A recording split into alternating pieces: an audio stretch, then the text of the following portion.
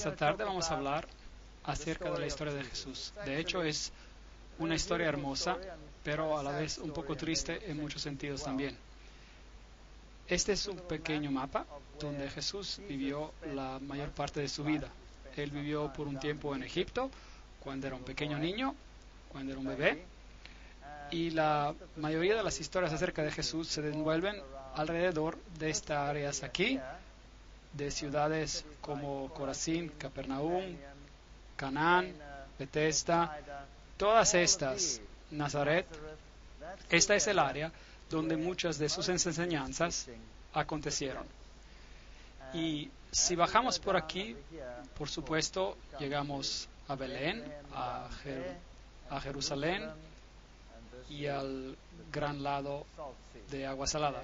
Y arriba el lago de Galilea. La historia de Jesús es una historia de alguien, de alguien que era un pastor, alguien que guía a su pueblo. Ahora, en mi país, cuando yo observo a un pastor, esto no tiene mucho sentido, porque un pastor en mi país pone a su rebaño delante de él y tienen perros que conducen al rebaño para hacer pasar el rebaño por una puerta en particular. Y los perros corren y las conducen por un lado y por otro del lado y las empujan a que se junten. Y el rebaño, de hecho, está un poco aterrorizado durante todo este proceso. Y entonces la idea de un pastor guiando a su rebaño es algo relativamente extraño. Pero esta es una ilustración típica de Medio Oriente, donde los pastores eh, son totalmente diferentes, donde el pastor guía y el rebaño sigue. Puede ver que esas ovejas están mirando al pastor lo cual es totalmente diferente de cómo ocurre en otros países. Esta es una escena típica de un pastor en el Medio Oriente, donde tiene al pastor y su pequeño rebaño alrededor de él. Y nuevamente todas las ovejas lo están mirando. ¿No es hermoso? Me gusta. Y este hombre tenía una cara tan rugosa que tuve que tomarle una foto. Aquí tomamos un pequeño video de una escena típica de un pastor y nuevamente el rebaño está atrás y el pastor está delante. Y ellos confían en su pastor, las ovejas. Veamos el video.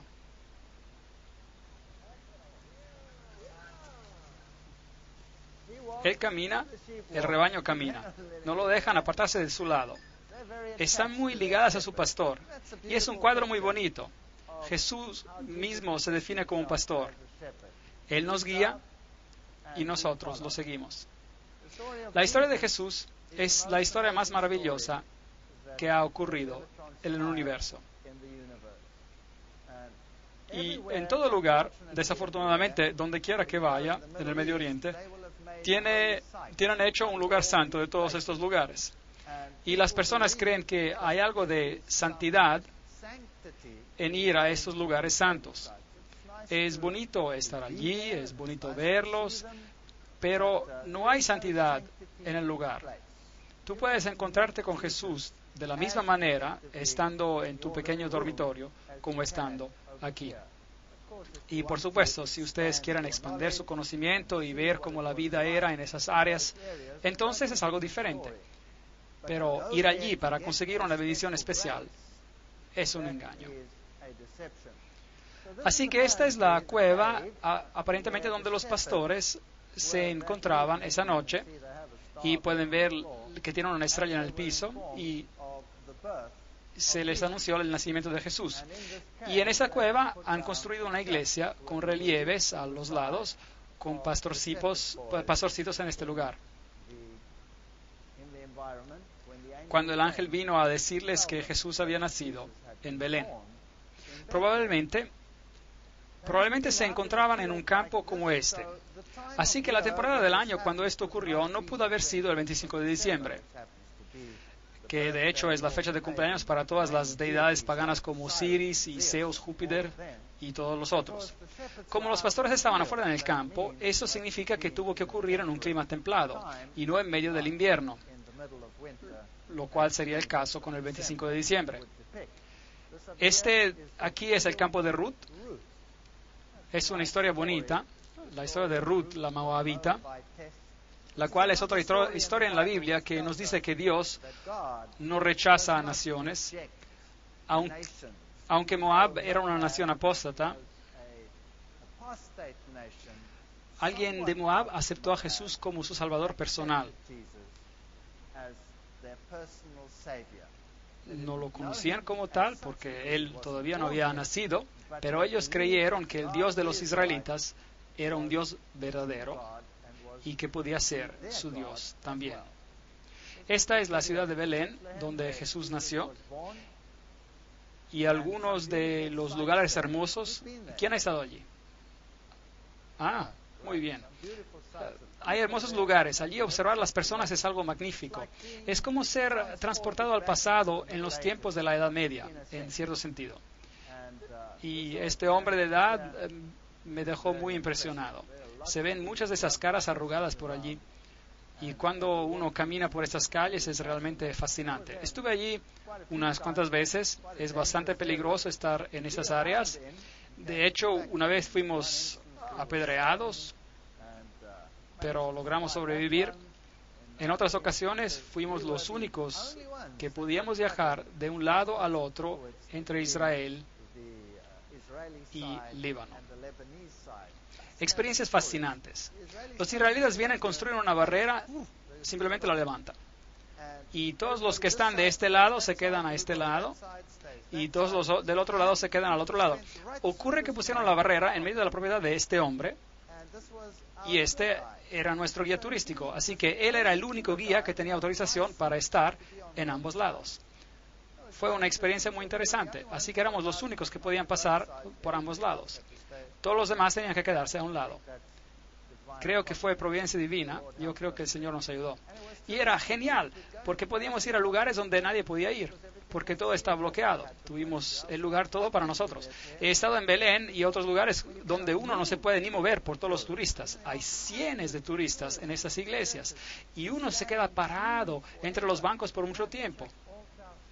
Nosotros tuvimos la iglesia sola para nosotros, completamente vacía, y pudimos ir a todos esos lugares. Fue maravilloso. Y los guías turísticos estaban desesperados por dinero. Así que nos escabullaban en lugares que normalmente no se iría. Eso fue genial. Así que algo bueno puede salir de algo malo. Escenas típicas de los mercados. Esta es una carnicería. Si usted quisiera comprar su carne, aquí se cuelga. Y hay un tremendo zumbido alrededor mientras va a comprar su carne. Así que no creo que sea una buena idea. Este hombre aquí trató de venderme un pollo e insistía para que yo comprara su pollo. Así que seguía insistiendo eh, y estaba vivo el pollo y el Señor no me dejaba ir. y yo le dije que yo no estaba interesando, pero no me dejaba ir. Así que empezó a regatearme, insistió y no me dejaba, corrió tras de mí. Así que finalmente ya me volvía loco. Entonces le dije, bueno, voy a regatear con él por su pollo. Así que lo negocié menos y menos y menos y menos y menos por el pollo, hasta que él se enojó conmigo. Y eso estaba muy bien. Y entonces ya negocié aún más y finalmente se enojó y me dijo, ya, tenga su pollo gratis. Y yo le dije después que era vegetariano. Se quedó mirándome, totalmente incrédulo. No podía creer que algo parecido fuera posible. Pero después se rió y nos hicimos buenos amigos. Esta es una típica panadería y debo decirles que no se ve muy caliente, ¿o sí? No. Bueno, de todas maneras, pan es pan. Se cuece en el horno, está probablemente bien. Y las mujeres no estaban permitidas aquí porque no es adecuado para una mujer estar en un lugar así donde se hornea pan. Traten de decirlo esta una de nuestras huéspedes que cocinan pan acá. No creo que ella esté de acuerdo. Pero bueno, sin embargo, esta iglesia famosa de la Natividad, donde Jesús nació, así se supone, no sabemos nunca si esos lugares tanto son los lugares verdaderos. Algunos de ellos probablemente son correctos. Y este probablemente podría representar el lugar donde Jesús nació. Y estos, por supuesto, estos lugares fueron escogidos temprano en la historia. Y este en particular por la madre de Constantino. Y ella encontró que este era el lugar. Y y por eso construyó esta iglesia, la cual era una iglesia bizantina, lo que significa que era ortodoxa. Y por eso hay una tremenda guerra en esta área entre los ortodoxos y los católicos que reclaman esos lugares para ellos mismos. Esta guerra no se resolvió hasta la llegada del movimiento ecuménico y ahora esta iglesia está compartida por la iglesia ortodoxa y la iglesia católico romana y alternan sus misas allí. Ahora, cuando usted entra en este lugar, tiene que entrar eh, por una pequeña puerta muy baja y tiene que agacharse. Y eso es para mostrar una señal de, respeto y humildad. Y por eso usted tiene que casi gatear a través de ella. Y como puede ver, la iglesia estaba totalmente vacía cuando estaba allí, nadie presente. Cuando estuve allí anteriormente, estaba llenísima. Y el piso no es el piso original, el piso original estaba por debajo y todavía tiene el mosaico original del tiempo de Constantino. Eh, es una iglesia muy antigua y, por supuesto, siendo un lugar santo, está llena de mitologías e historias que probablemente nunca ocurrieron. Pero me parecieron interesantes los rayos de sol que ingresaban a la iglesia cuando yo estuve ahí. Y ahí arriba, contra ese pilar, hay unos agujeros, por aquí los puede ver, ¿Y qué son estos agujeros? Bueno, la leyenda dice que María apareció en la iglesia un día y tomó sus dedos y los hizo en forma de una cruz como esta. Y ella fue hacia ese pilar y lo marcó allí. Y allí estaban los agujeros. Allí están. Esos son los dedos de María que hicieron los agujeros. Y si usted pone sus dedos en estos agujeros, usted recibirá, dicen, una bendición especial. Observé estos agujeros y vi que los bordes estaban bastante descicelados, así que creo que el trabajo que hicieron no fue muy bueno. Si, si realmente fuera divino, entonces los agujeros estarían marcados nítidamente, quemados, me imagino. Entonces esta es, una, es la casa de historias que atrae a las personas y se asombrará como en tiempos normales la gente se alinea en largas columnas para poner sus dedos allí y realmente creen que recibirán una bendición especial de María si colocan sus dedos allí. Ahora, la iglesia, por supuesto, previamente era más baja. Le mostré el piso inferior que estaba cubierto por tablas y que era considerablemente más bajo que el piso presente. Y así que si usted quiere bajar al lugar original donde eh, alegan que el pesebre de Jesús estuvo, tiene que bajar estas gradas y entrar al sepulcro y ahí está. Y este es donde el pesebre aparentemente estuvo, allí en ese mismo lugar. Así que si usted pone su mano allí, todavía hasta estos días, puede obtener una absolución de la Iglesia Católica Romana. Eso significa que todos sus pecados son perdonados si solo se toca esa parte. De hecho, en algunos de estos lugares usted puede conseguir perdón por sus pecados para 90 días de anticipación. Así que si usted está planeando una gran fiesta, es bueno ir y poner su mano allí y saber que por tres meses puede usted hacer lo que quiere. Muy interesante. Y no va a haber preguntas ni castigo que baje del cielo. Ahora, nosotros estuvimos acá cuando nadie estaba allí, lo cual era sorprendente. Así que cuando finalmente llegamos, cuando realmente nadie debía estar ahí, esas personas estaban muy sorprendidas. Estaban ocupadas con sus rituales normales y parece que interrumpimos este ritual, lo cual no les gustó. Pero teníamos una cámara allí y tomé una foto con mi cámara y debieran haber visto sus miradas. Les mostraré una foto que tenemos ahora mismo. Y esta es ahora una misa ortodoxa en el sótano, el subterráneo de esta iglesia, donde normalmente uno no debería estar. Aquí están, y es así como estaban vestidos, en capuchas negras. Se parecen más como miembros del Ku Klux Klan que a monjes. Estos son monjes ortodoxos diciendo una misa en particular. Y aquí algo de lo que resultó. ¿Tienen sonido?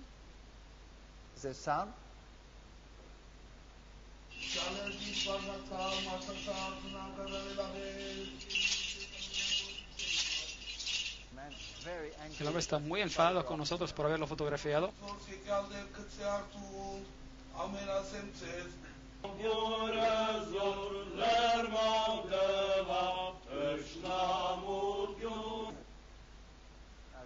Ahora ese hombre ahí, si las miradas pudieran matar, me hubiera arrasado.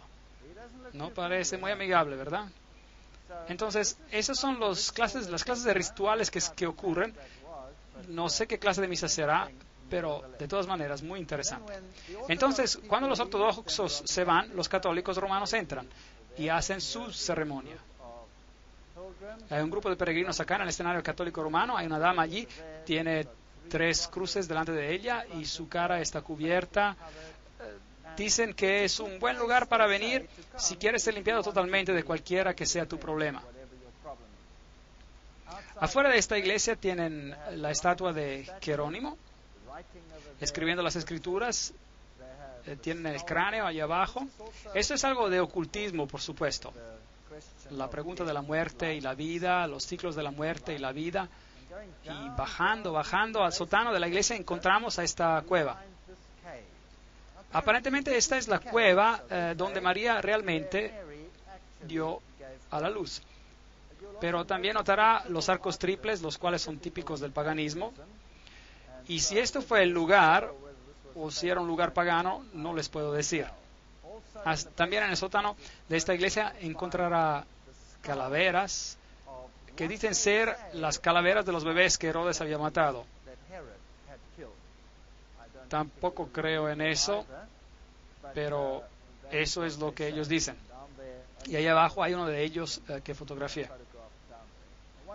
Hubo una ocasión mientras yo estaba allí, una bomba explotó en el lugar donde había estado unos segundos atrás eh, previamente. Es un lugar peligroso. Aquí hay otra cueva y en esta cueva también hay un sepulcro de María.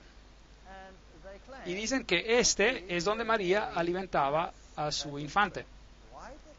¿Por qué los lugares tienen que ser diferentes? No lo sé. El lugar donde ella nació, donde él nació, digamos, y también tiene la, cueva donde José esperó por María mientras estaba dando la luz al bebé en el otro cuarto. Muy interesante. Cuando llegan a esta, esta se llama el ataúd de la leche. Y cuando entra, lo llaman la gruta de la leche, la grotte du lait. Y entra adentro y hay otra cueva, una iglesia dentro de una cueva, otro símbolo pagano ahí. Y arriba en las paredes hay esas manchas blancas. Y esas están certificadas por Roma con la certificación del papado que esta es la leche que María arrojó a chorros contra las paredes. Y es algo en serio. Cuando ella estaba dando a mamar a Jesús. Así que el guía que estaba allí estaba muy entusiasmado en mostrarnos esto y uno puede recibir una unción especial. Hay un certificado de aprobación del Vaticano diciendo que esas son las manchas genuinas de la leche de María. Entonces le dije al guía, sabe, he estado en otras de las cuevas también y hay manchas blancas eh, similares en las paredes. Y esas son depósitos de calcio carbonado eh, de la lluvia. Y él dijo que sí, que sí, que es verdad, pero en las otras cuevas sí, pero no en esta. Esta es la leche, la leche. Esta es la famosa gruta de la leche. Y si usted va abajo, ellos tienen eh, todas estas pequeñas cuevas secundarias y ahí usted puede ver este icono típico en una de ellas. Ahora, de hecho, esto es paganismo. Esta es la leyenda de Isis. Como ven, en la leyenda de Isis, María toma el lugar de Isis. Isis era también la reina de la fertilidad. Después de todo, ella consiguió dar a la luz a Horus mientras su esposo estaba muerto, reconstruyéndolo. Y por eso, si si las personas tenían problemas de fertilidad, ellos oraban especialmente a Isis. Y esto resolvería sus problemas de fertilidad. Si tenían problemas con dar la leche, entonces orarían a Isis y después tendrían mucha leche. Esto es paganismo antiguo resucitado en el cristianismo eh, moderno en esos lugares. Jesús, por supuesto, sobrevivió la matanza de Herodes y la familia se fue a Egipto. Así nos dice la Biblia. Y estuvieron algún tiempo en Egipto y luego un tiempo vino para que el niño obtuviera su madurez según la costumbre de Israel y retornaron de Egipto y vivieron en Nazaret. Eso es lo que la Biblia nos dice. Ahora, si usted va a Egipto, este es el mismo lugar donde aparentemente la familia santa vino y ellos tienen estos iconos ahí. Nuevamente la iglesia ortodoxa en estos lugares tiene supuestamente lugares llamados lugares santos. Y esta es la historia de José y su familia llegando a Egipto. Y una de las iglesias más famosas de aquí es el Patriarcado Cóptico Ortodoxo, eh, la iglesia del Monasterio de la Virgen María de Adavia en Egipto. Es una iglesia muy, muy famosa y pocos años atrás, eh, olvidé exactamente cuántos años, pero en la parte final de los 90, por ahí, María apareció. Hubo apariciones de María en este lugar. Y el mundo musulmán se enloqueció. Por supuesto, no pudo ser María porque no es bíblico, pero no obstante, las apariciones tomaron lugar aquí en este patriarcado. y Aquí pueden ver algunos de los iconos en la iglesia, algunos de los símbolos. Y justo era domingo de Las Palmas cuando está así que el patriarca aquí estaba llevando eh, cosas hechas de hoja de palma. Aquí también hay la historia en esta iglesia de la huida de la familia santa a Egipto, de cómo se mudaron, de dónde estaban hasta Egipto. Y ellos tienen la historia de cómo vinieron con el río Nilo y se quedaron en este lugar específico. Y es fascinante que esta iglesia también tiene el libro de los milagros. E, en cierto modo, copiando lo que pasó, este libro, este libro muy pesado, vino flotando por el Nilo un día. Y siendo este un lugar santo, las personas aquí realmente anhelan con fervor recibir estas bendiciones. Este es el libro que vino flotando en el Nilo y estaba abierto en una página en particular, muy interesante. Y es este, aquí lo ven, enfoque más cerca. Ok, hay una pequeña placa de lo que pasó y en qué página estaba abierto.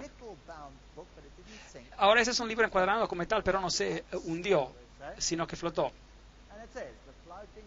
así como se dice, ¿no? Eh, como la hacha, digamos, que flotó en la Biblia. Y la dice la Biblia flotante, un viernes 12 de marzo de 1967, después de una mañana de liturgia, las personas notaron un objeto flotando en el agua cerca de las gradas donde la familia santa había embarcado.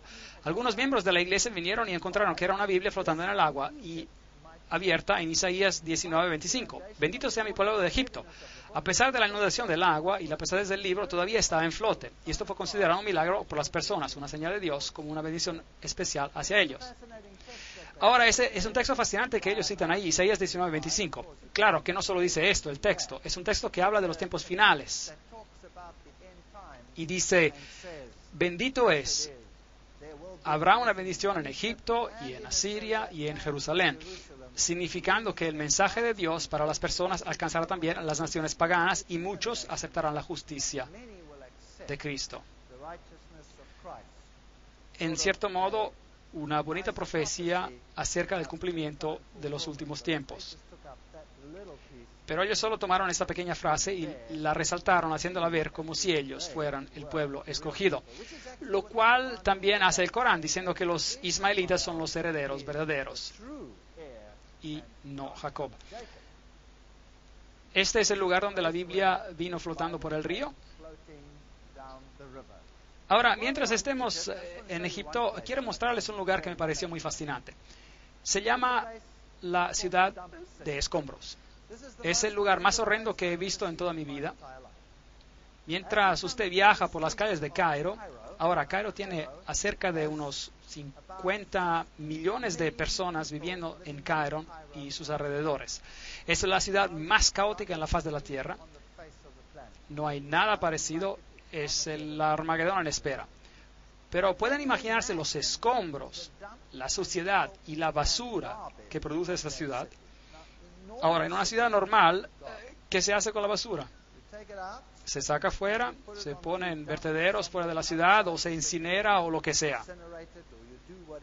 Pero puede imaginarse 50 millones de personas viviendo en un ambiente como este y toman sus escombros, su basura y lo llevan al área pobre y lo echan en las calles.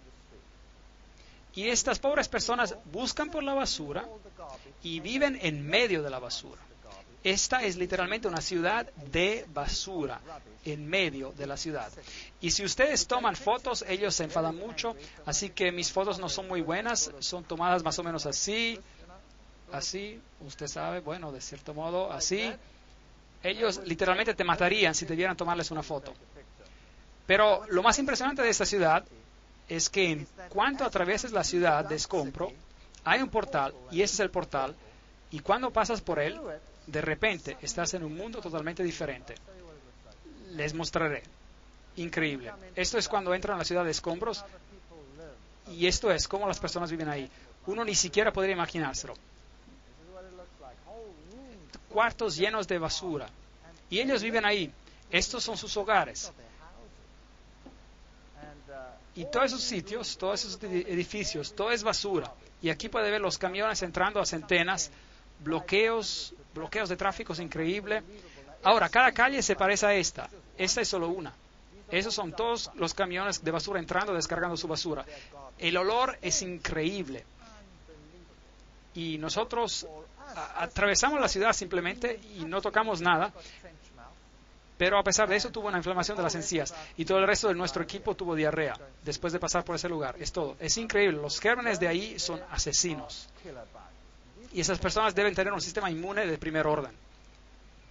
Aquí puede ver los uh, embarcollamientos y la basura y la mugre por todas partes. Las fotos no son buenas, pero un poco borrosas. Aquí viene un asno llevando una carga de basura para botar en la ciudad. Aquí está. Toda una pila de porquería. Este hombre está tomando su té junto al montón de basura. ¿Puede ver eso? Eh, esa es basura que él selecciona, probablemente su única posesión en su vida. Y esos pequeños niños viviendo y caminando entre los escombros. ¿Puede creerlo? Es horroroso. Hubiese querido agarrar a esta niña y ponerla en un ambiente más limpio y seguro. Es chocante. Las tiendas, ahí está la basura y aquí está la tienda. Y mientras se camina por el portal, de repente se encuentra uno en un mundo diferente. Simplemente así. Es hermosamente limpio. Y ahí está una pequeña iglesia ortodoxa, con, roca trabajada alrededor. Y todo está hecho de la roca trabajada. Es increíble esta pequeña iglesia ortodoxa. Y ahí está, es una iglesia para el santo Bola. Y usted eh, puede ver que es absolutamente asombrosa. Aquí hay un anfiteatro y un hombre, un hombre polaco ortodoxo que ha pasado toda su vida aquí un hombre joven vino aquí y esculpió toda esta pequeña ciudad. Y este es el anfiteatro que él ha creado, probablemente con una cierta ayuda del ambiente. Y ese es él, ese es el hombre. Él hizo todo el trabajo que verán. Increíble. Las paredes enteras de esta ciudad son rocas cinceladas con la historia de Jesús. En medio del mundo musulmán pasa por una ciudad de escombros y mugredad y basura y de repente está en este lugar limpio y bonito con una iglesia pequeña. Y la historia de Jesús escrita en las paredes. Jesús con los pequeños pastorcitos por aquí, al tiempo de su nacimiento, es la escena representada por aquí. La historia de su nacimiento, todo cincelado en roca sólida. Yo soy el buen pastor, cincelado en roca sólida. Las historias de la Biblia, el caminar sobre el agua, la mujer al pozo, por ejemplo. Y estas son esculturas gigantes. Solo para darles una idea. Esto es un escarpado de roca, una pared de roca con algunas esculturas en ella. Cada piedra gigante ha sido transformada en un trabajo de arte. De Jesús, esta es la historia de Lázaro saliendo de su tumba.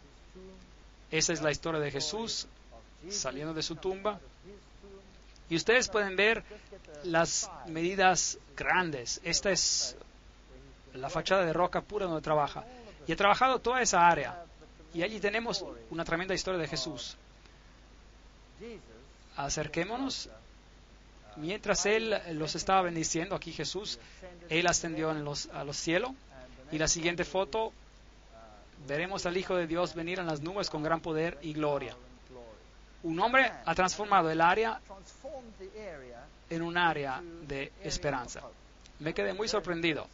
Esto es más o menos como nuestro mundo es. Ustedes pasan por este mundo representado por la ciudad de escombros. Y mientras pasan por ella, la única esperanza que pueden tener para pasar al otro lado de la historia es la historia de Jesús. Voy a ver el Hijo del Hombre viniendo en las nubes con gran poder y gloria. Y ya no habrá más ciudades de escombros. La historia de Jesús es probablemente la historia más angustiada que nunca se contó. Sé que muchas películas se hicieron y ni siquiera la más reciente que se hizo puede ilustrarlo por lo que pasó a Jesús y cómo su vida fue. Cuando volví a Jerusalén, bueno, Jerusalén hoy en día es una ciudad totalmente diferente. Es una ciudad de peregrinajes. Miles de personas peregrinan allí. Aquí hay un grupo de monjas guiando una peregrinación detrás de la cruz. Y las personas están llenas de una especie de euforía han estado en ese lugar, lo han experimentado. Pero si un lugar toma el lugar de Jesús, entonces tenemos un problema. Ese es el muro de los lamentos y ahí tenemos la famosa mezquita de la roca en el fondo. Ese es el muro de los lamentos y no era parte del templo original, sino es una parte de la corte exterior del templo. Aquí subiendo las escaleras puede entrar a esta área Hoy en día no está ya permitido entrar allí, así que me pararon aquí y solo tomé una foto por la grieta. Esta es una réplica de cómo el templo se veía y hay una columna gigante que era destinada a ser parte del templo y nos da, nos da una idea del tamaño original que tenía el templo. Esta nunca se usó porque tenía una grieta. Y esta es probablemente la réplica de la menorá en tamaño normal. Y esta es la que hicieron en, en caso de que restauren el lugar del templo. Esos son los judíos al muro de los lamentos. Usted nota todas esas pequeñas cartas en el muro, las ve. Las personas vienen y escriben sus pequeñas cartas de cualquier sueño que tengan en la vida y después las meten en el muro. Aquí tenemos un corto video.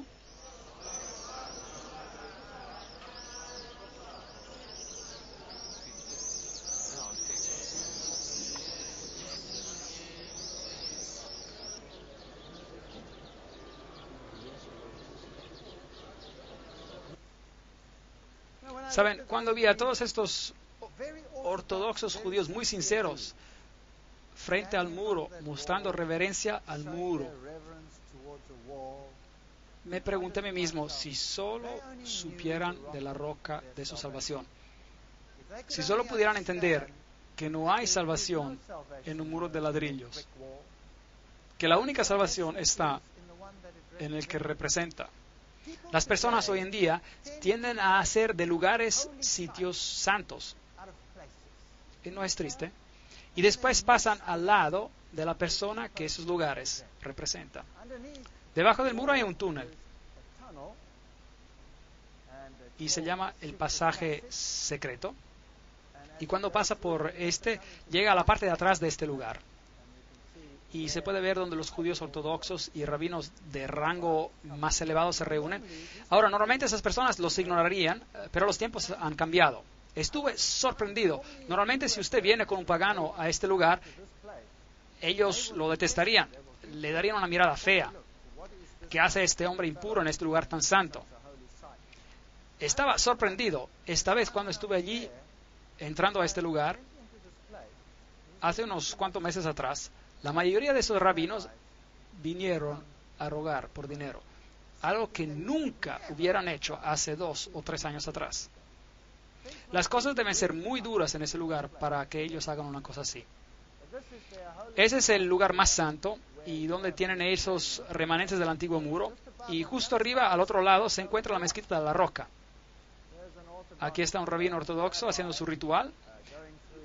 Note que tiene los mandamientos en su frente.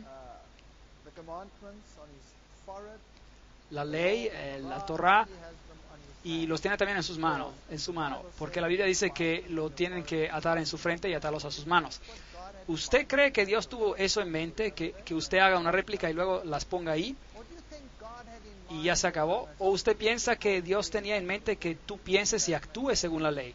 ¿No tiene eso más sentido? Yo creo que eso tiene más sentido. Aquí hay una piedra típica del lugar antiguo del templo. Esta es una piedra de Rhodes y si esta tiene esos huecos y eso indica que era una piedra del templo, templo original. Así que cuando volvieron a usar las piedras del templo, las construyeron en toda clase de estructuras y paredes. Y así que esas eh, seguramente fueran piedras del templo original construidas hoy en otro muro. Este es el sepulcro de David.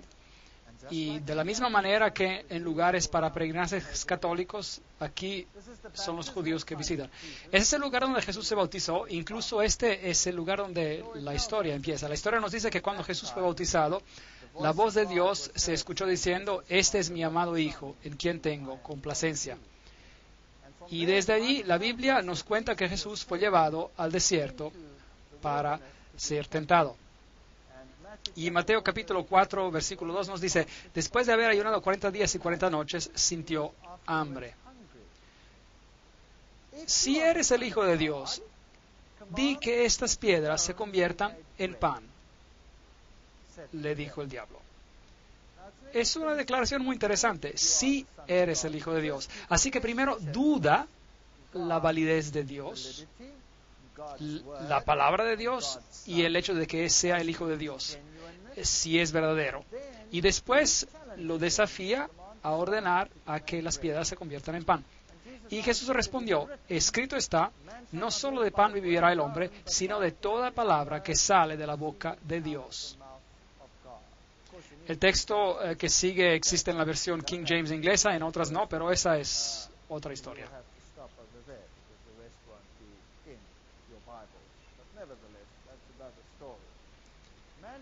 No solo de pan vivirá el hombre, sino de toda palabra que sale de la boca de Dios.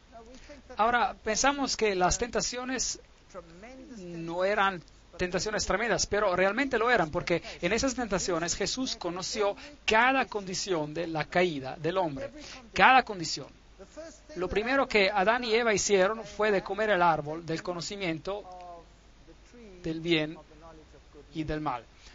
En otras palabras, el apetito era bueno para comida, ese fue uno de sus primeros problemas.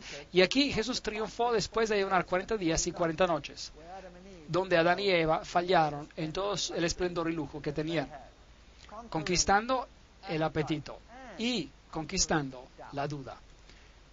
Si eres el Hijo de Dios, ¿Dios realmente dijo eso? Por eso Jesús triunfó sobre el pecado de la duda y triunfa sobre el pecado del apetito humano y la pasión. Todo en uno.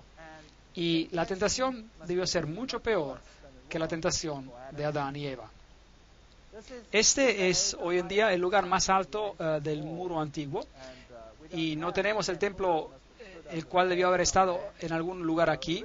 Así que originalmente el diablo debió llevarlo a este muro a algún lugar por aquí donde el templo estaba y amenazó de arrojarlo, abajo. Vayamos a este lugar aquí. Hay un punto que nos da una idea de la altura.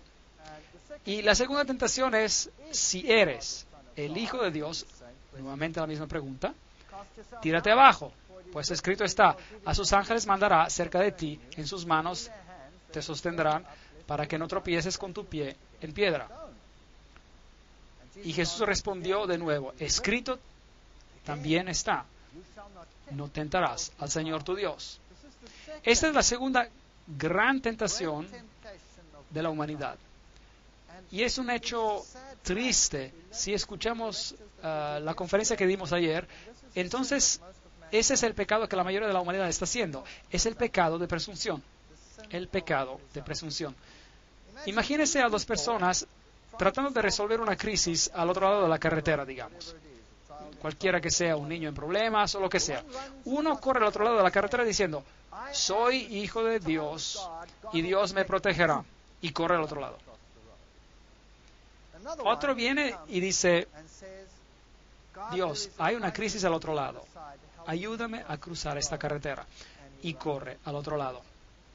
Los dos, al observador de afuera, son, son absolutamente idénticos. Pero uno actúa con presunción y el otro por fe. ¿Pueden ver cuán cerca están el uno del otro? ¿Cuán cerca están el uno del otro? Y la cristianidad moderna, la mayoría de los movimientos hoy en día están practicando la presunción, la religión basada sobre la fuerza, mientras la fe es algo totalmente diferente. Y Jesús pudo haberse tirado, porque eso es lo que él dice la Biblia. Pero escrito está, no serás atrevido, presumido. La tercera tentación, otra vez lo llevó el diablo a un monte muy alto y le mostró todos los reinos del mundo y la gloria de ellos. Y le dijo, todo eso te daré si prostrado me adoras. Ahora las personas dicen que seguramente Jesús sabía que Él era Dios y que Él iba a ganar. Y en todo caso, ¿por qué tenía que hacer eso?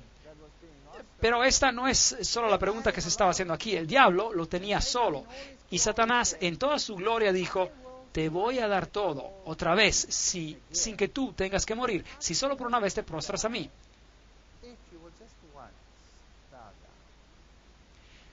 Y claro, el pecado que se tenía que vencer aquí es el pecado del amor al mundo. Y yo creo que muchas personas se perderán por esta misma tentación en particular. Vete, Satanás, porque escrito está, al Señor tu Dios adorarás y solo a Él servirás. El amor al mundo no nos llevará a ningún lugar. Así que esas tres tentaciones, eh, Jesús básicamente triunfa por parte del hombre sobre las mayores tentaciones que tenemos que enfrentar de una forma u otra. Y por supuesto luego se fue al lago de Galilea. Y en el camino allí hay este pequeño pueblo pintoresco llamado Maalula. Y es el único pueblo pequeño que queda en el mundo entero donde el lenguaje que se habla es arameo. Ahora, ese es el lenguaje que Jesús hablaba. Y es muy bonito ir allí. Es un lugar limpio y placentero. Y es también un lugar ortodoxo, en gran parte ortodoxo y musulmán y ellos hablan arameo. Y los niños solo hablan arameo. Son muy estrictos con el idioma. Es agradable escuchar cómo suena. Aquí está uno de los sacerdotes ortodoxos dando un servicio en ese lugar en particular. Y fuimos a preguntarle si él oraría el Padre Nuestro para nosotros en arameo, para que podamos escuchar cómo era el lenguaje de Jesús. Y lo voy a compartir con ustedes. ابو ناحتي بشمو.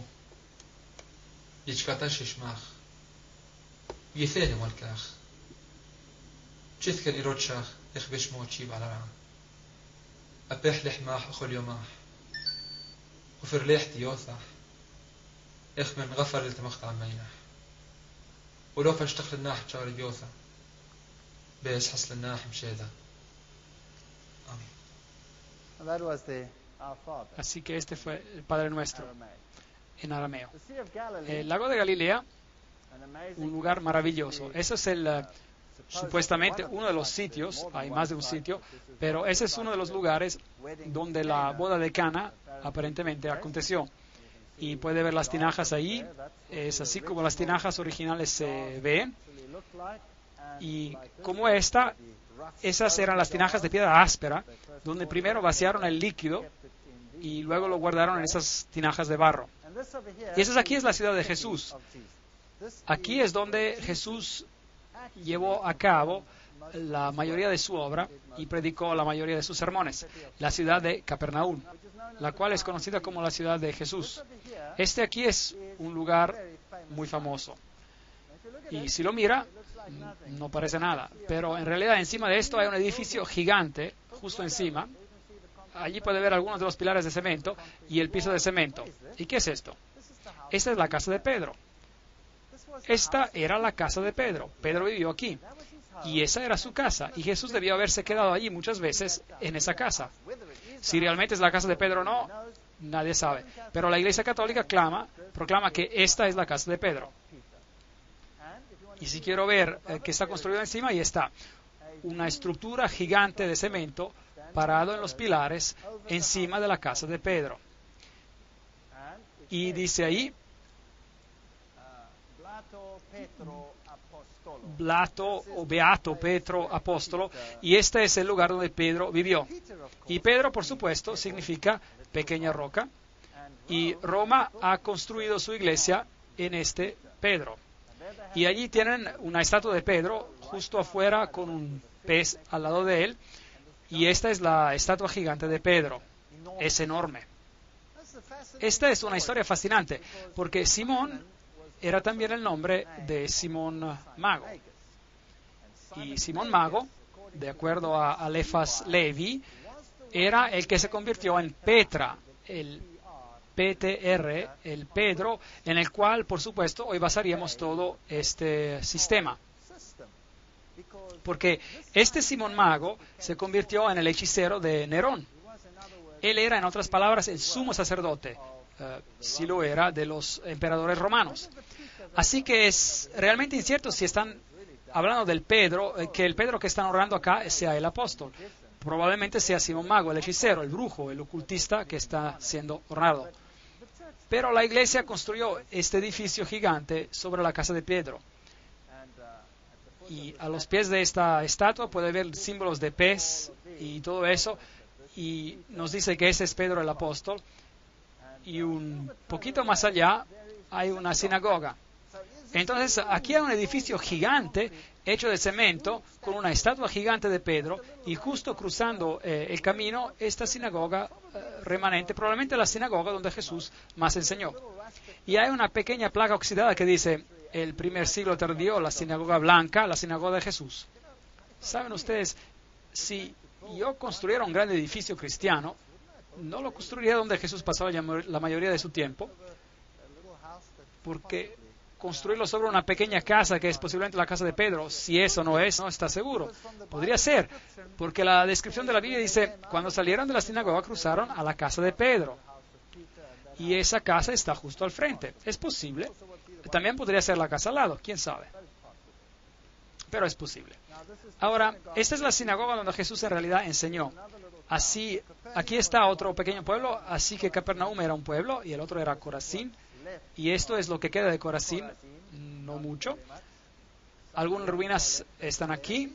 Esas son las ciudades que Jesús maldijo. Y Jesús dijo que si los milagros que se hicieron en ti se hubieran hecho en Sidón, en Sodoma o Gomorra, ellas hubieran aceptado el mensaje.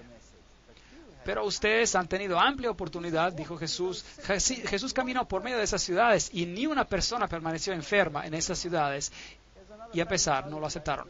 Aquí hay un famoso lugar santo, ese es el lugar de las bienaventuranzas. Y cuando entras ahí es mejor que estés apropiadamente vestido. Esta es la iglesia de las bienaventuranzas, un lugar muy famoso.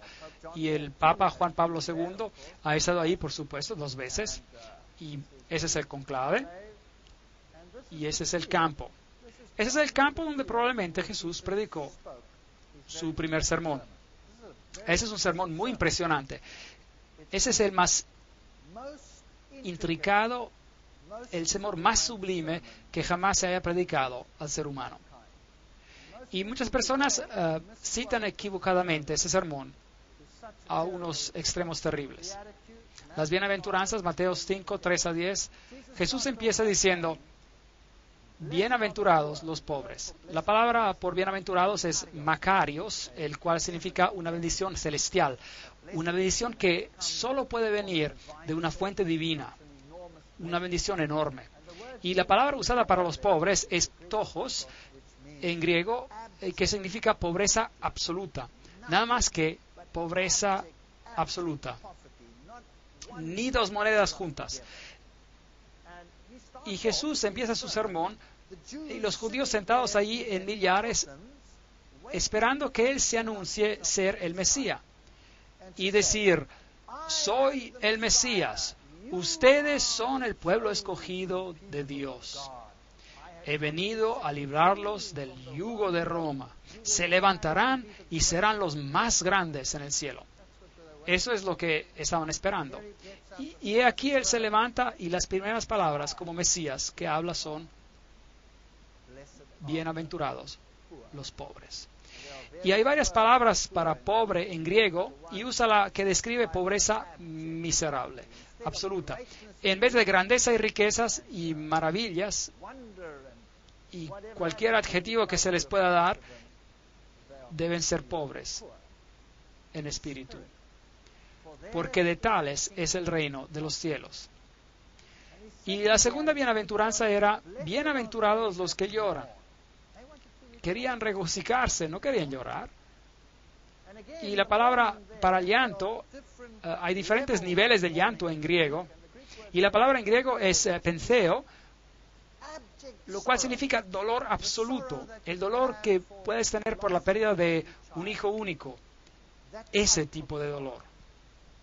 Bienaventurados los que lloran, porque recibirán consolación.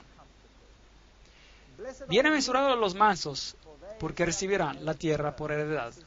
Esta es una mansedumbre, una humildad que prácticamente no se puede describir en palabras humanas.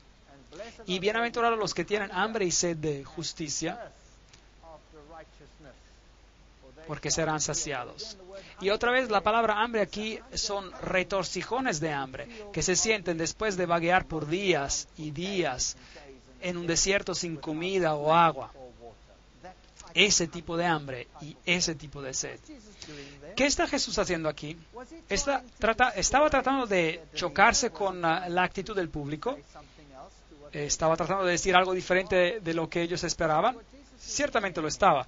De hecho, lo que Jesús estaba haciendo aquí es mostrar el camino cristiano. Esto es lo que está explicando. Y está diciendo, bendecidos los pobres en espíritu, porque de ellos es el reino de los cielos. En otras palabras, aquellos que se dan cuenta de su bancarrota, aquellos que se dan cuenta de que no tienen nada que ofrecer. Vengo a Jesús sin nada que ofrecer. No puedo decirle a Él, Señor, tengo una moneda aquí, ¿puedo comprar mi camino al cielo? No tengo nada. Estoy en pobreza absoluta no tengo nada que ofrecer más que una vida manchada de pecado. Eso es todo. Así que debo llegar al punto donde me doy cuenta de que soy pobre, que no tengo nada que ofrecer. Y entonces el siguiente paso es bendecir a los que lloran porque serán consolados. No solamente me debo dar cuenta de que no tengo nada que ofrecer como individuo manchado de pecado, debo experimentar dolor ¿Por qué? Por el pecado. Debo experimentar mi dolor por pecar y debo mirar al Hijo de Dios y debo sentir dolor y debo tener arrepentimiento. Y debo decir, Señor, perdóname, perdóname por lo que hice. El arrepentimiento genuino es el siguiente paso en el camino cristiano. Bienaventurados son los mansos. Una vez que te des cuenta de que estás en bancarrota, una vez que te des cuenta de que eres responsable por la muerte del Hijo de Dios, una vez de que hayas experimentado un dolor real, no hay tiempo, más tiempo para quedarte en tu pedestal pensando que eres mejor que los demás. Es hora de bajar y experimentar humildad y saber de que otros y Dios son más grandes que tú. Es un camino muy difícil para el ser humano de viajar. Es lo contrario a cada emoción humana. Bienaventurados los que tienen hambre y sed de justicia, porque serán saciados. El camino de los cristianos eh, no termina con solo darse cuenta de que eres pecador por el dolor de tu pecado y por ser más humilde. Tienes que continuar en un proceso conocido como la santificación, lo cual significa, Señor, cambia mi carácter vil. Pablo dice, debo crucificar el hombre viejo cada día y, debo pedir a Dios que me cambie. Y tengo un modelo perfecto eh, que es Jesucristo y debo decirle al Señor que me cambie a esa imagen, que verdaderamente pueda reflejarlo a Él. Deseo ser más como tú y menos como yo, porque realmente me encuentro en una condición lamentable. Ese es el camino cristiano. ¿Cuál es el siguiente paso? Una vez que hayas hecho eso, entonces podrás ser misericordioso, porque ellos obtendrán misericordia.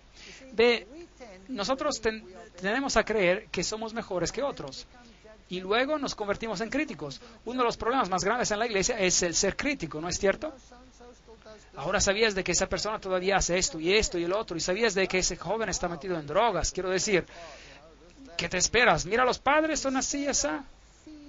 En vez de alimentar el hambre y mirarte a ti mismo y decir, ahora mírate a ti mismo, qué miserable eres. ¿Piensas que ellos son peor que tú?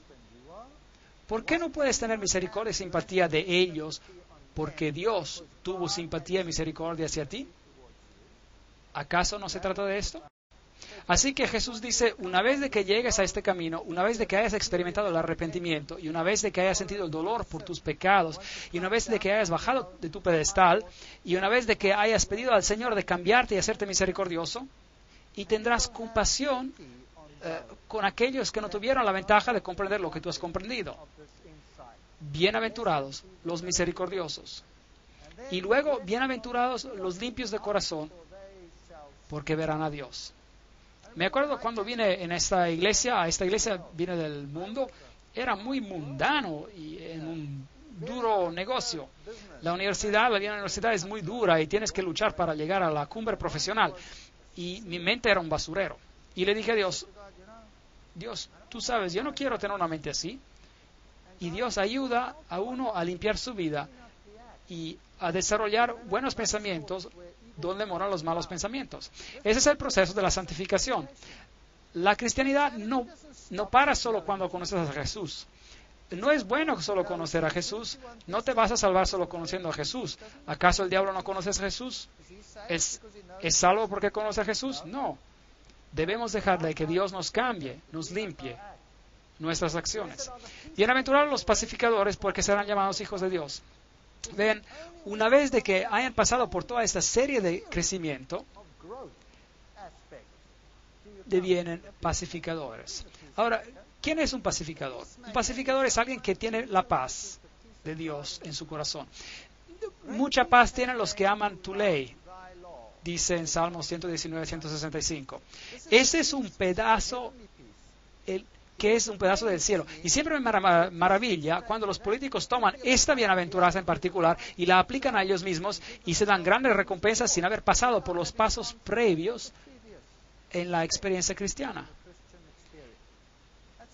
esa persona no es un pacificador. Un pacificador es alguien que ha hecho los, las paces con Dios. Ese es un pacificador. Y bienaventurados los que padecen persecución. ¿No es increíble? Por causa de la justicia, porque de ellos es el reino de Dios. ¿Cuál es la última cosa que el Señor menciona aquí? ¿Cuál es la última bienaventuranza? Benditos los que padecen persecución. En otras palabras, si pasas por este proceso, si sientes dolor por el pecado, si sientes, eh, si pides perdón y si dejas que el Señor cambie tu corazón y si estás dispuesto a bajar de tu pedestal y si quieres la paz de Dios en tu corazón, serás una irritación para el mundo y ellos te perseguirán. Es una garantía. Y ese es el proceso del camino cristiano, totalmente opuesto a lo que es el, ser humano, a lo que el ser humano quiere en este mundo hoy en día. Las lecciones que Jesús enseñó en el lago de Galilea son absolutamente, absolutamente las más fundamentales que el ser humano necesita. Necesitamos tomar nuestra Biblia y necesitamos estar alertos. Si tiene una Biblia que está marcada en rojo donde Jesús habla, necesita estar alerto. Debe leer esto cuidadosamente. Lo leemos como historias, pero debemos leerlo con cuidado porque es Dios quien está hablando directamente a nosotros. Cada palabra es un talento de Dios. Cada palabra, hasta los pero y los más, estarán en un lugar correcto por razones particulares. Así que necesitamos tomar atención a lo que Jesús enseñó. Aquí un típico barco en el lago de Galilea, pequeños pueblos alrededor, no ha cambiado mucho. Ese es un barco que encontraron después de una tremenda sequía. Aparentemente es un, barco exactamente como en los tiempos de Jesús. Así que ese tipo de barco era en el que Jesús hubiera estado con Pedro y sus discípulos cuando les enseñó la gran lección. Tomen sus Biblias otra vez y lean las palabras de Jesús diciéndose a sí mismos, este es Dios que me está hablando, hay poder en esa palabra. Aquí está la tumba de Lázaro, aquí es donde Lázaro eh, se echó, es una tumba muy oscura, por supuesto. Hoy en día es un lugar santo, pero imagínese que aquí Jesús llamó a un hombre todavía en paños fuera de la tumba, probando que Él es la resurrección y la vida. Y Él hizo esto justo antes de ir a Jerusalén, en el acto final de la obra de su vida. Y mientras se acercaba a Jerusalén, puede imaginarse lo que pasaba por su mente. Esta es la ciudad de Jerusalén y las varias puertas de la ciudad antigua todavía están ahí. Y mientras baja esta colina, construyeron aquí una pequeña iglesia de las lágrimas, se llama. Está construida como una gota de lágrimas. Y si entra en la iglesia de las lágrimas, tiene esta pequeña luz encima. Y hay una ilustración de la gallina con la representación de la madre juntando a sus polluelos, porque Jesús dijo, Jerusalén, Jerusalén, ¿cuántas veces he querido juntarte como una madre gallina junta a sus polluelos, pero no quisiste? Las palabras famosas de Jesús, Jerusalén, Jerusalén, que matas a tus profetas y los apedreas a los que te mando. ¿Cuántas veces he juntado a tus hijos como la gallina junta sus polluelos bajo sus alas y no quisiste? Nada ha cambiado, el mundo es exactamente lo mismo y en el sitio donde estaba el templo hoy está la mezquita de la roca. Es interesante aquí algo de la arquitectura. Esta aquí es la puerta hacia Damasco. Ahora, los arqueólogos no, nos harían creer que el muro no es hoy en día donde estaba en los tiempos antiguos. Esto es muy importante, porque los católicos eh, tienen el Gólgota dentro de los muros. Y la Biblia dice que Jesús fue crucificado ¿dónde? Afuera de los muros. Ahora, eso es muy importante. ¿Dónde fue Jesús crucificado? ¿En el Gólgota católico o en el otro Gólgota fuera de la ciudad? Ahora, aquí hay una nueva puerta encima y lo que pasó fue que aquí un, tubo, una tubería se reventó y los judíos tuvieron que cavar para eh, bloquear la salida del líquido y a medida de que cavaban descubrieron ah, esta puerta, la puerta Damasco. Y lo puede ver, está justo abajo y al frente de la nueva puerta. Así que obviamente el muro debe haber estado en el mismo lugar, ¿verdad? Así que esto es muy interesante. El muro estaba en el mismo lugar. Mientras entra este lugar, esta es la puerta Damasco y estas deben ser las piedras donde Jesús incluso caminó y donde Pablo caminó. Así que si usted camina ahí, eh, está de hecho caminando en el mismo lugar donde Jesús caminó. Aquí están las puertas de Ulda. Eh, son puertas fascinantes, las dos puertas del sur, conocidas como las puertas de Ulda, y ya no existían básicamente hasta recientemente, fueron construidas en el periodo del segundo templo, eh, eso es decir, el primer siglo. no me gusta ese BCE antes de la era común. Hasta el primer siglo, es decir, CE ponen ahí, era común. Bueno, nosotros los vamos a hablar el primer siglo antes de Cristo y el primer siglo después de Cristo. Las puertas provenían, proveían acceso a los túneles que conducían al, cercado del templo y las puertas de Hulda eran usadas a menudo por Jesús. Y todavía están cerradas ah, hoy. Eh, y ahora son parte de los muros y la nueva construcción. Así que Jesús seguramente caminó por esas escaleras también. Aquí hay un hombre interesante, es una ilustración bonita, así que tenía su burro ahí y pensé que era una ilustración bonita, así que la tomé y seguí caminando. El error más grande que se puede cometer. Este pequeño hombre saltó mis espadas, me sacudió como un trapo para ver si algo caía de mis bolsillos, así que finalmente lo recompensé por su esfuerzo. Y luego mi amigo vino corriendo y lo vio. Y, pensó que sería una fotografía grandiosa. Y me paré ahí y sonreí. Y mientras tomó la fotografía, e hizo lo mismo que yo. Y la siguiente cosa que ocurrió, este hombre estaba golpeándolo en la espalda y sacudiéndolo como un trapo. Y me preguntó después, oye, ¿por qué no me dijiste? Y le, le dije, bueno, quería eh, ver el espectáculo y no tenía por qué decirte. Eso es lo que venden allí en las calles de Jerusalén. Ese es un vendedor de algarrobo. Eh, tiene una jarra grande en la espalda con un jugo de algarrobo y cuando se agacha puedes tomar uno de esos vasos y tomar de ellos. Y ese es el sector judío, muy diferente. Y un moledor viejo ahí, tiendas, pequeños niños judíos, muchas contiendas en este país. Esta es la vieja ciudad de David. Aquí es donde cortaron a Isaías, el profeta, en dos. ¿Puede imaginar cerrando a alguien vivo en dos? Qué gente más cruel. Esta es la, iglesia o la construcción que fue construida sobre lo que es el gran eh, cenáculo de la última cena, como ellos dicen. Y este aquí es el Getsemaní. Y si va a Getsemaní, tiene que escoger cuál, porque hay dos. Este de aquí es el Getsemaní ortodoxo, construyeron esta iglesia ortodoxa gigante encima de él. Y justo al lado, un poquito más alejado, está el Getsemaní católico, eh, afuera donde hay árboles gigantes de olivo, en el Monte de los Olivos, donde Jesús fue a orar. Y ellos dicen que estos árboles son los descendientes eh, de los olivos que Jesús uh, vio cuando él fue a orar. Y se acuerda de que Jesús ahí dijo, mi alma está triste hasta la muerte. Quedaos aquí y velad conmigo. Mateos 26, 38. Padre mío, si no puede pasar de mí esta copa sin que yo la beba, hágase su voluntad. Entonces se le apareció un ángel del cielo para fortalecerlo, y lleno de angustia oraba más intensamente, y era en su sudor como grandes gotas de sangre que caían hasta la tierra. Lucas 22, 43. Hay muchas críticas hoy en día acerca de la película, eh, por ejemplo, la película llamada La Pasión de Cristo. Eh, no lo encuentro un nombre muy bonito para mí, pero sin embargo representa el sufrimiento de Jesús como si no fuera bíblico. De hecho, probablemente no, no, lo que hicieron ver no fue suficiente. El sufrimiento que representaron fue, fue en realidad mucho más no he visto la película, pero he leído suficientemente acerca de ella. Y les puedo decir que Jesús sufrió tremendamente. Y la historia bíblica eh, está muy, um, digamos, dispersa. Y tenemos que tomarla pedazo por pedazo y tenemos que um, componer la junta, digamos, y tenemos que leer la historia también a nivel histórico para probablemente ver lo que le pasó a él. ¿Qué le pasó a Jesús en el jardín? Fue que él tenía tanta ansiedad que sus vasos capilares de su piel reventaron. Ahora, esto es una condición médica que ocurre algunas veces hoy en día y es muy, muy rara vez que alguien sobreviva a esa condición. El, el estrés y el trauma son tan grandes cuando los vasos capilares revientan por ansiedad que esas personas mueren. Así que lo que debió haber pasado aquí es exactamente la misma cosa y Jesús pudo haber muerto aquí. Pero un ángel apareció del cielo y lo fortaleció para lo que estaba por acontecer. La Biblia nos dice que esa noche los discípulos lo abandonaron y huyeron. Marcos 14, 15.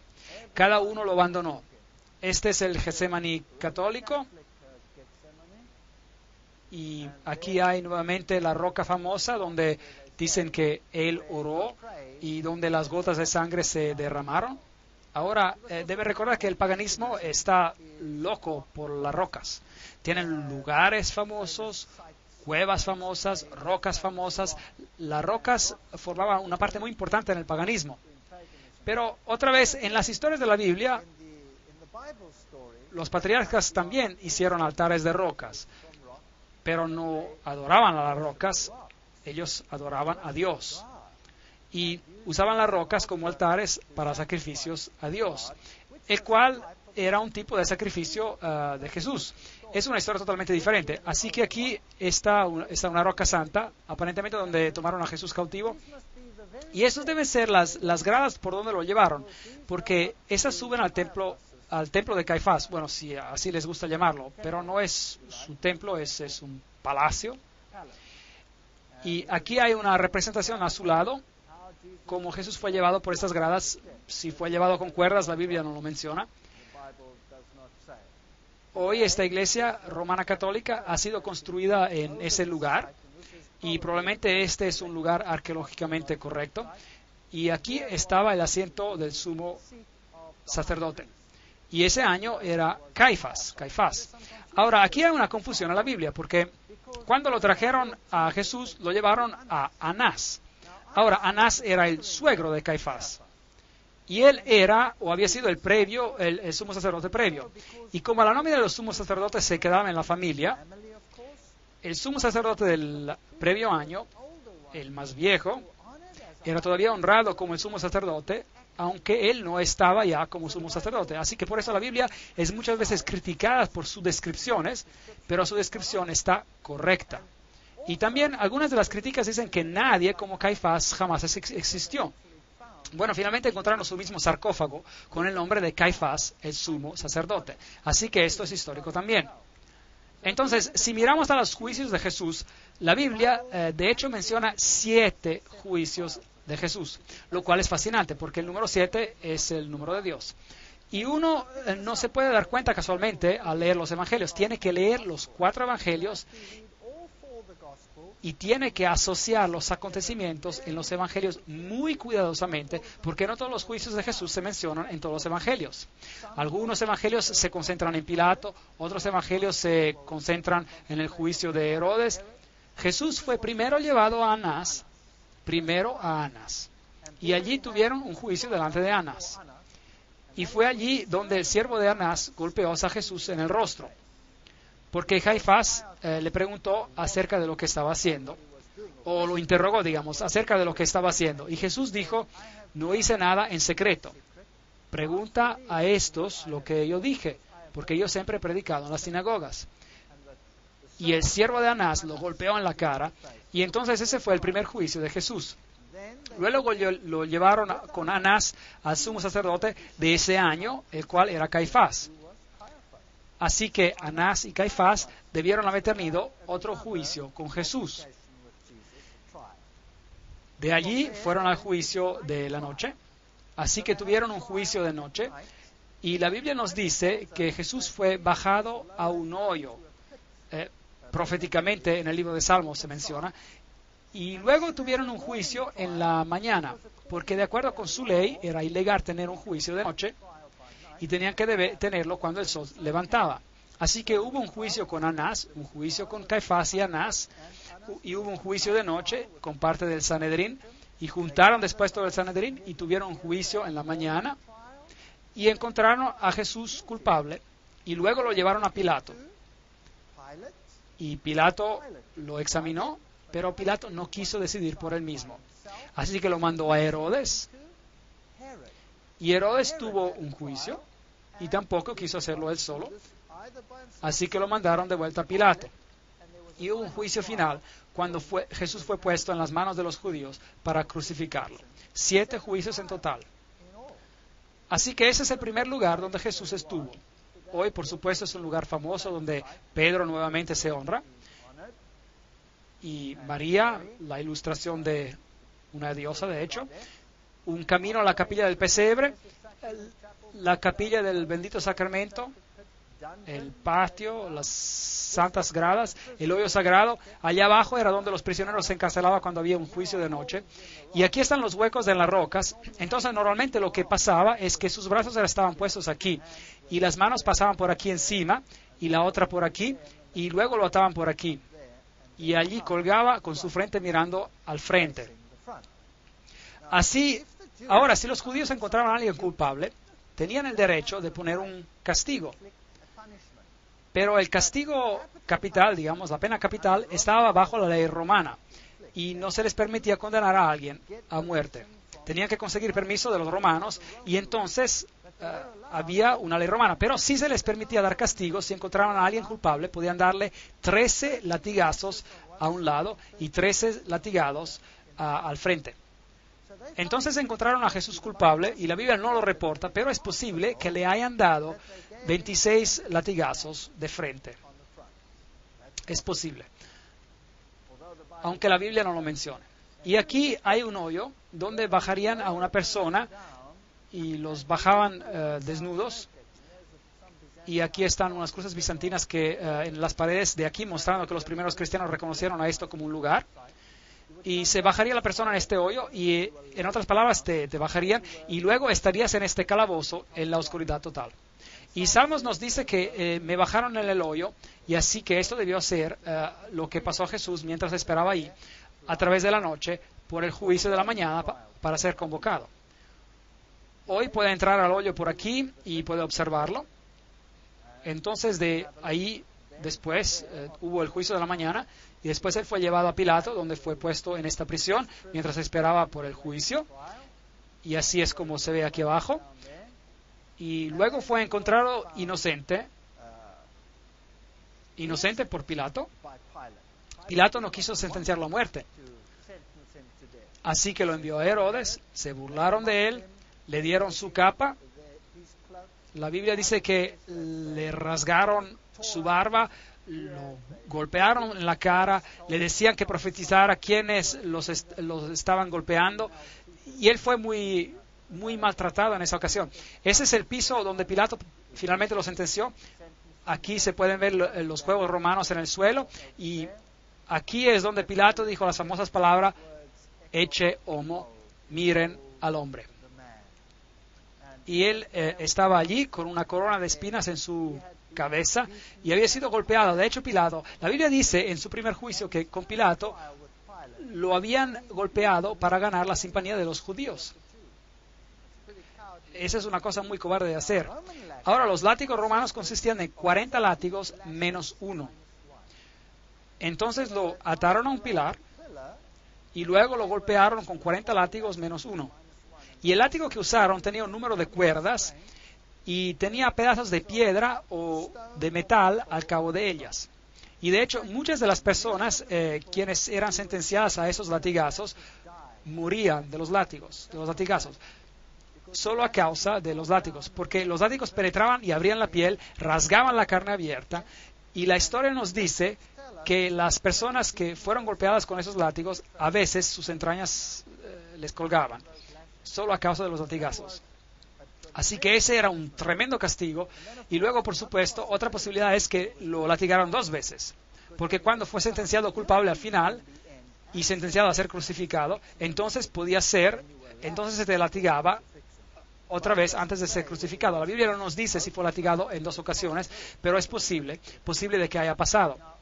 Ahora, ellos también reclaman de que Pilatos no existió. Bueno, aquí hay una inscripción actual que fue encontrada, la inscripción de Pontius Pilatus, la cual categóricamente indica que él era el procurador, en los tiempos de Tiberio. Así que bíblicamente y arqueológicamente no hay manera de que la historia bíblica sea negada.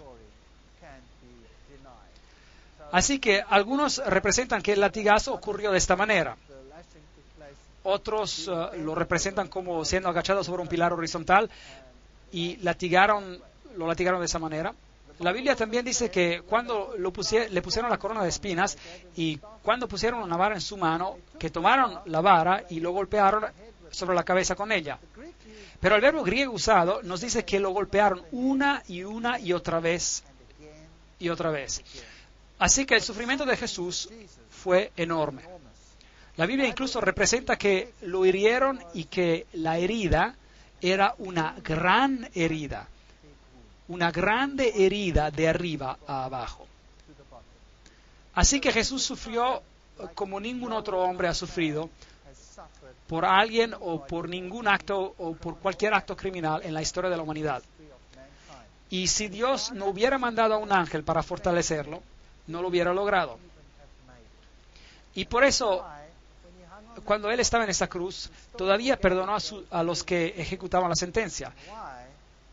Y por qué y la razón por la cual él murió tan rápidamente, mientras otros que colgaban ahí por más tiempo se les tuvo que quebrar sus piernas, porque esa era la manera de, bueno, que ellos tenían de asegurarse de que se quedaran esas personas en la cruz y no se bajaran. Vea, si ellos se hubiesen quedado en la cruz en el sábado, en el día viernes, es decir, y no hubiesen morido ese viernes, entonces eh, les rompieron las piernas, porque si no, en el día de sábado hubieran podido bajar de la cruz y eso hubiera sido un desastre porque nadie los hubiera podido agarrar el sábado. Así que eh, una historia horrible en esos tiempos antiguos. Y luego dice la Biblia, lo llevaron a Golgotá. Y ahora esa es la calle famosa, la vía dolorosa, donde debió haber pasado. Y de acuerdo con la Biblia, él fue llevado afuera de la ciudad. Y eso significa que él debió haber bajado por esta calle y salió afuera de esta puerta que se llamaba la, salida de las ovejas. Y debió haber subido allí. Y eso tendría sentido porque la puerta de las ovejas es donde los sacrificios se llevaban afuera de la ciudad para ser quemados. Si usted tiene la opinión católica, bueno, entonces él debió haber subido las gradas para entrar al Gólgota. Eh, los llevaré a los ambos sitios y les mostraré ambos sitios. Y la Biblia dice que él llevó su cruz, pero que se cayó bajo ella y entonces tuvo que ser ayudado y alguien tuvo que tomar su lugar. Esta es la famosa vía dolorosa.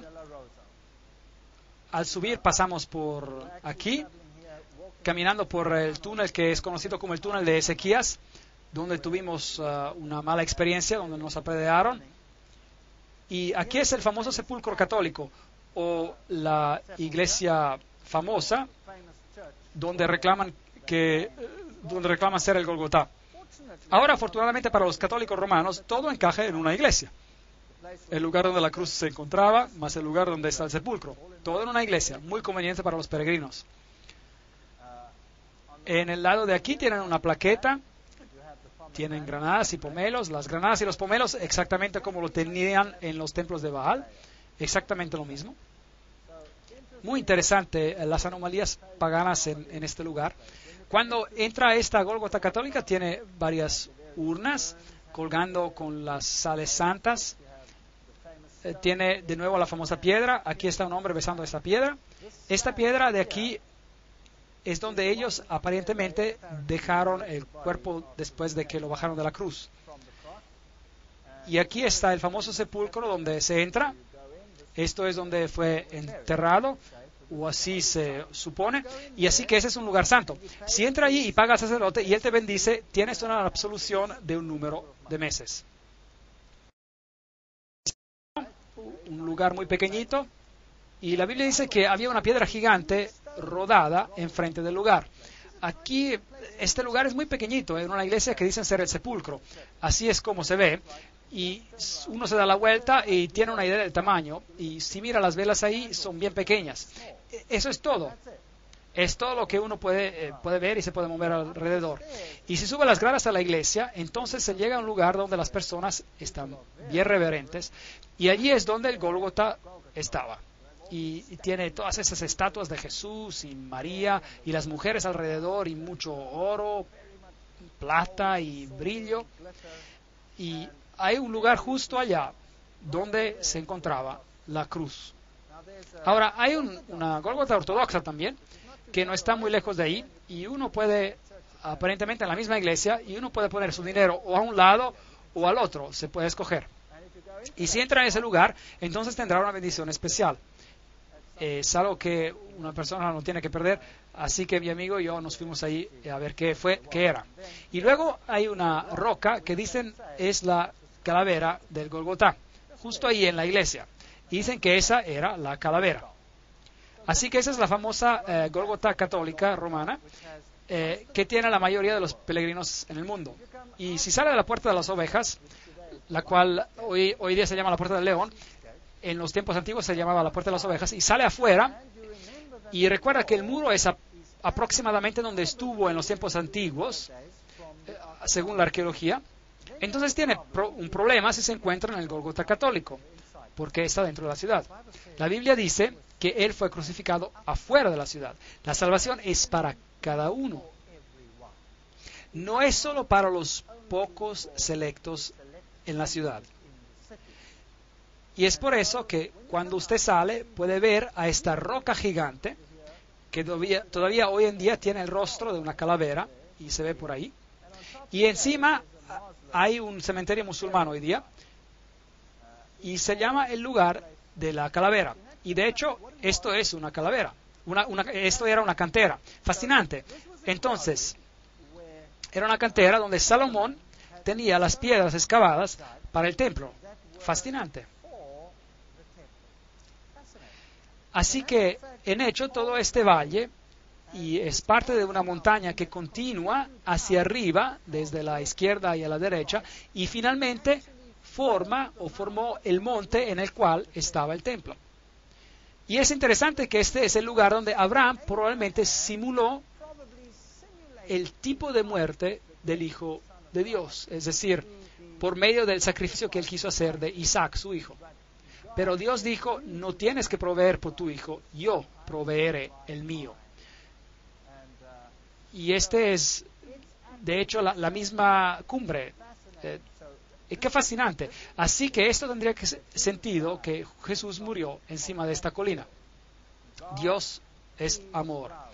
Porque de tal manera Dios amó al mundo que dio su Hijo unigénito para que todos los que crean no se pierdan, mas tengan vida eterna. Juan 3, 16. Afuera, muy cerca, justo a la base de esa colina, hay una tumba con un jardín. Y luego tomaron el cuerpo de Jesús y lo envolvieron en lino, vistieron con especias de la manera como los judíos se sepultaban, y cerca del lugar donde fue crucificado había un jardín, y en el jardín había un nuevo sepulcro donde nunca se había enterrado a nadie. Es lo que la Biblia dice. Así que es totalmente diferente del lugar que está dentro de la ciudad. Así que hay un jardín afuera de la ciudad. Todavía hoy en día es un jardín hermoso. Y ahora, un jardín en la Biblia eh, actualmente significa una finca. Y aquí está, era un viñedo. Y aquí todavía hay un viejo lagar para la uva. Así que tiene eso tiene sentido. Y ahí hay un viejo lagar para la uva y es un hermoso jardín hoy. Y después de, cavar para construir edificios, encontraron este lugar. Y mirar y contemplar que aquí había algunas tumbas. Y enfrente de la tumba, así pueden ver, hay un pequeño muro. Y en ese pequeño muro, en el cual era como un surco, pusieron una gran piedra redonda que pudieran haber rodado enfrente de esa tumba. Y si mira hacia abajo, tendrá que mirar adentro de la tumba y mirar al otro lado. Y hay una tumba que ha sido excavada un poco, digamos, parcialmente. Así que todavía no se había terminado. La Biblia dice que la tumba no estaba terminada. Nadie había sido todavía enterrado ahí. Y la Biblia dice también que los discípulos se agacharon para ver qué había adentro. Entonces ellos podrían haber mirado porque aquí, por aquí, pasando ese pilar, y hubieran visto a esa tumba por ahí. Y se habían dado cuenta que estaba vacía. Entonces, esto encaja perfectamente con la descripción bíblica. También en ese jardín eh, tienen esa hierba que crece por aquí, de donde hacen una droga para, eh, para poder anestesiar.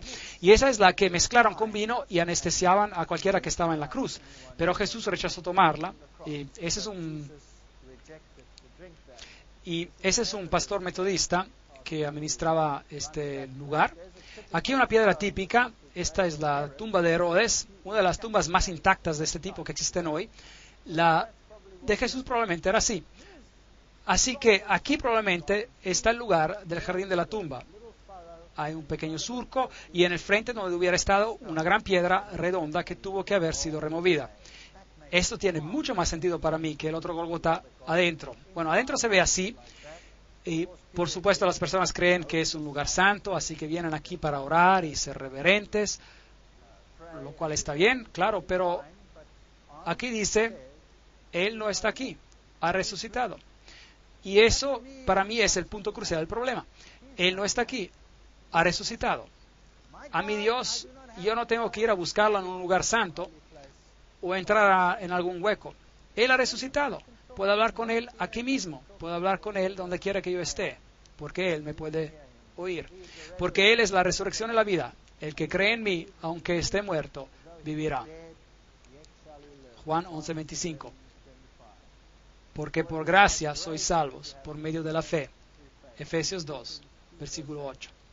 ¿Sabe? Una religión basada en una forma y formalidad es tan vacía una vez de que uno ha sentido y experimentado Jesucristo. Aquí está el Monte de los Olivos, la capilla de la Ascensión, pequeña capilla, y aparentemente ese es el lugar donde Jesús ascendió al cielo. Esta de aquí es la famosa puerta de oro. Está enladrillada y bloqueada y del otro lado hay unas gradas que conducen al templo del monte y hoy en día hay la mezquita de la roca y aquí se encuentran las tumbas eh, de los más ricos del mundo musulmán. Y ellos creen que cuando Jesús retorne, Él vendrá aquí y la puerta de oro se abrirá. Bueno, no es Jesús para ellos, es el imán Mahdi, el Mesías. Para, para los judíos es el Mesías y para los cristianos es el regreso de Jesús.